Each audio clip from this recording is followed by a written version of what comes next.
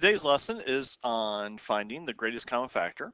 So before we get to that, it is important to uh, understand um, what numbers are factor of others. And essentially what we're finding here are our divisibility rules. So what can we divide these numbers by? So we start with 1. And since we can divide any number by 1, 1 is going to be a factor of all numbers. After 1, we then check 2, because 2 is the next number on the list. And we just want to ask ourselves, what numbers can we divide by 2? Well, we can divide any even numbers by 2, so 2 is a factor of even numbers.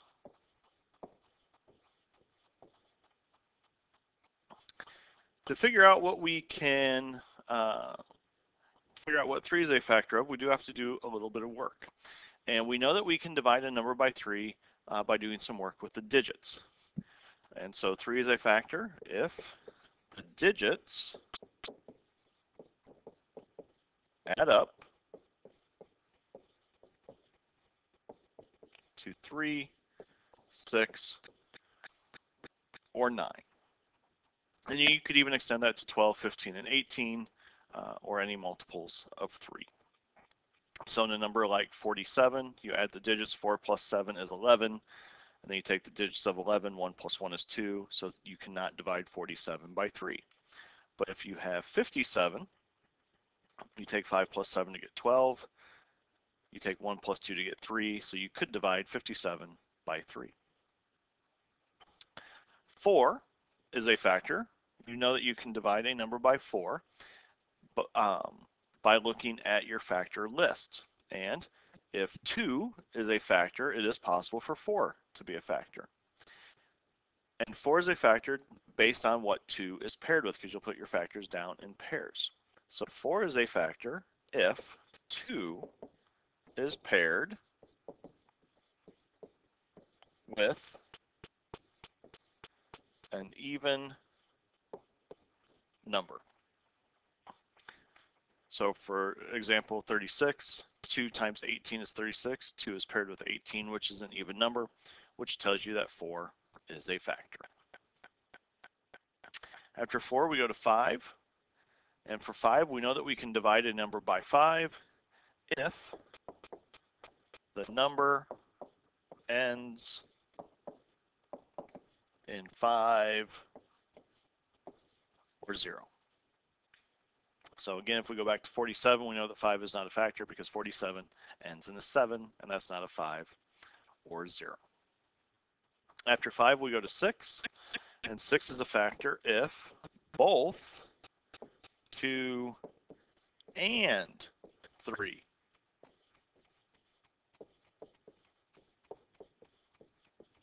are factors. So if two is in your list, if three is in your list, then six has to be in your list. If one of those is missing, six cannot be a factor. Now after six is normally seven, but I don't have seven on here because there's really no rule. There's nothing I can tell you to look for to determine whether or not seven's a factor. So for seven, you just kind of have to try it. You just have to see if you can divide the number by seven. After seven, we then go to eight, and we know that eight um, is going to be a factor if 4 is paired with an even number. After 8 is 9, and we know that 9 is a factor if the digits add up to 9. So if you take the digits of a number, add them up, and they become 9 or 18 or 27, then you can divide it by 9. And then 10 is a factor if the number ends in 0. So if the number ends in 0, you know that you would be able to divide it by 10. So those are our factoring rules, and hopefully those will help you uh, as we go into our lesson where we factor out numbers. So our um, standard, our objective for today is to find the greatest common factor of two whole numbers less than or equal to 100. So before we get to the greatest common factor, we will be identifying common factors. But before we can identify common factors, we do need to have a list of factors. So we want to find the common factors of 12 and 30. So we're going to start by creating a list of factors for 12. And what we're looking for are all of the pairs that if we multiply those two numbers together, we get the result of 12. And this is where we can use those rules of factoring to help us out. So we start with 1 and we ask ourselves, is 1 a factor of 12? And of course 1 is a factor of 12 because 1 is a factor of every number. And when we put down factors, we put them down in pairs. So 1 times 12 is 12. 1 will be the lowest factor in our list, 12 will be the highest factor in this list, and then we're going to work towards the middle. After 1, we check 2. And ideally, you know your multiplication facts, and you know that you can multiply 2 by 6 to get 12. But if not, you know that 2 is a factor because 12 is an even number. And so you just have to figure out 2's partner, and it's 2 times 6. And as you see, our numbers are getting closer together because once again, we are working towards the middle. After two, you check three. And again, ideally, you know your multiplication facts, but if not, you would add your digits. One plus two is three, so you know that three is a factor, and it is three times four. After three, you would check four, and you'll notice that four is already in our list, so we do not need to go any farther. We have found all of the factors for 12. Excuse me.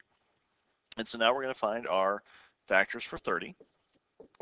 Once again, we start at 1, and we know that 1's a factor of all numbers. And in fact, any factor list we create is always going to start with 1 and the number. After 1, we check 2. 30 is an even number, so 2 is a factor. And it's 2 times 15. If needed, do your multiplication or do your division off to the side to figure out what the partners are. After 2, we check 3, and since the number is 30, we know that 3 is a factor, and it's 3 times 10. After 3, we check 4. Well, if we know our multiplication facts, we know that there's nothing that we can multiply by 4 to get 30. Or if you use your rules of factoring, 2 is paired with 15. 15 is not an even number, so 4 cannot be a factor. So after 4, we check 5. 30 ends in a 0. So we know that 5 is a factor, and it's 5 times 6. And then after 5, we would check 6. 6 is already in our list, so we are done. So now after we have uh, found all the factors, now we look for the common factors, and common factors are going to be the ones that are in both lists. Well, 1 is always going to be in both lists because 1 is always going to be a factor of a number. We see that 2 is in both lists. We see that 3 is in both lists. 4 is not in both lists, 6 is in both lists, and 12 is not in both lists. I don't need to check the remaining numbers in 30 because they would have already shown up in our list. So our common factors of 12 and 30 are 1, 2, 3, and 6.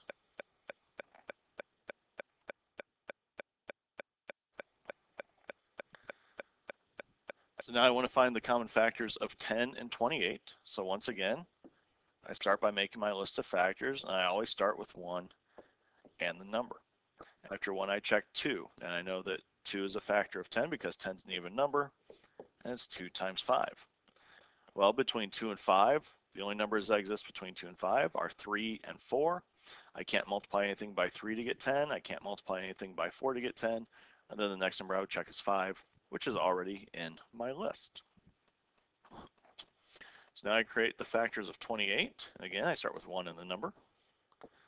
28 is an even number, so 2 is a factor, and that's 2 times 14. 2 plus 8 is 10. 10 is not a multiple of 3, so 3 cannot be a factor. 2 is paired with an even number, which makes 4 a factor. And it's 4 times 7. And then after 4 is 5. Well, 28 does not end in a 5 or 0, so 5 is not a factor. After 5 is 6. Since 2 and 3 are not both factors, then 6 cannot be a factor, which then takes us to 7, which is already in our list. So now I go through and look for the factors that are in both lists. 1 is in both lists. 2 is in both lists. 5 is not, and 10 is not. So my common factors are 1 and 2.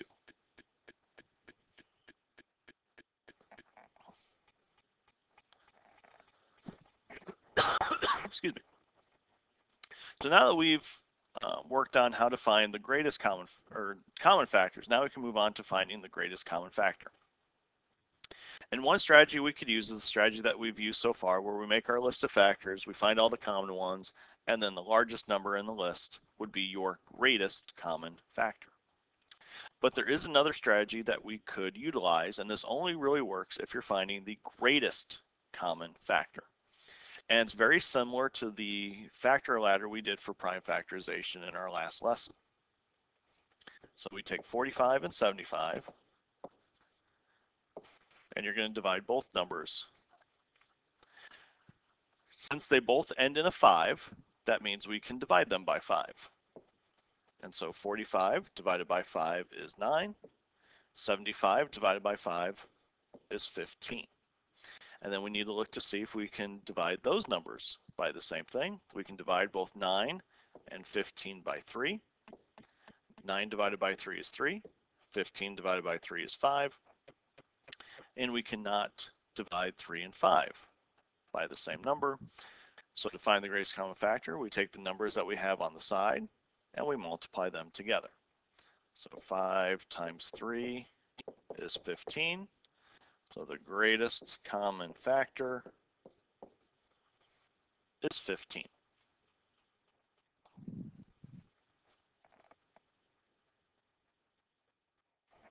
So for 20 and 32,